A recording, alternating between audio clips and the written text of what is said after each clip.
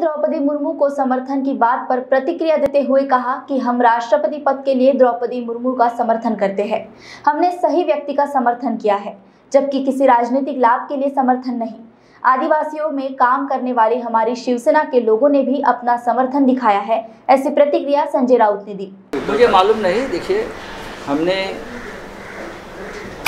Party Shiv Sena पक्ष प्रमुख उद्धव ठाकरे जी ने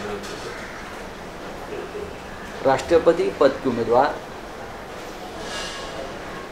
द्रौपदी जी मुर्मू को शिवसेना का समर्थन दिया है। ये कोई राजनीतिक समर्थन नहीं है। इस देश में पहली बार एक आदिवासी महिला देश के सर्वोच्च पद पर विराजमान होने जा रही है। पूरे देश के एक सेंटिमेंट्स है। कि आदिवासी महिला को ये बहुमान मिल रहा है। महाराष्ट्र में भी हमारे बहुत से विधायक, सांसद, कार्यकर्ता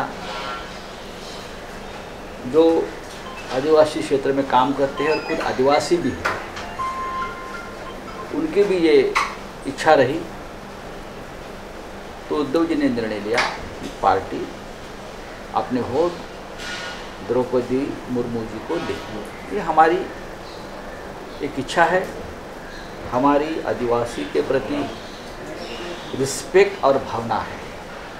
मैं मानता हूँ, राजनीति से ऊपर जाकर ये निर्णय पार्टी ने लिया है। उससे पहले भी, ये पहली बार नहीं है। हमने कांग्रेस के उम्मीदवार राष्ट्रपति पद के प्रतिभादायी पाटिल को भी सपोर्ट किया था। जब हम एनडीए में थे सरकार में थे एनडीए में थे। प्रतिभादायी पाटिल महाराष्ट्र की मराठी मत सुपुत्री थी तो हमने सपोर्ट किया। फिर हमने प्रणव बाबू मुखर्जी को भी सपोर्ट किया था, राष्ट्रपति पद के लिए। तो शिवसेना की ये परंपरा है कि ऐसे पद पर जो व्यक्ति बैठती है, उनका सम्मान करे, योग्य व्यक्ति है, उनको सपोर्ट करे। तो आपने जो प्रश्न कहा कि द्रौपदी जी आज मुंबई आने वाली है, क्या मातोश्री जाएँगे? मुझे वो मातोश्री आई इसलिए हमने सपोर्ट नहीं किया। ये राजनीतिक समर्थन नहीं है, हमारी भावना है।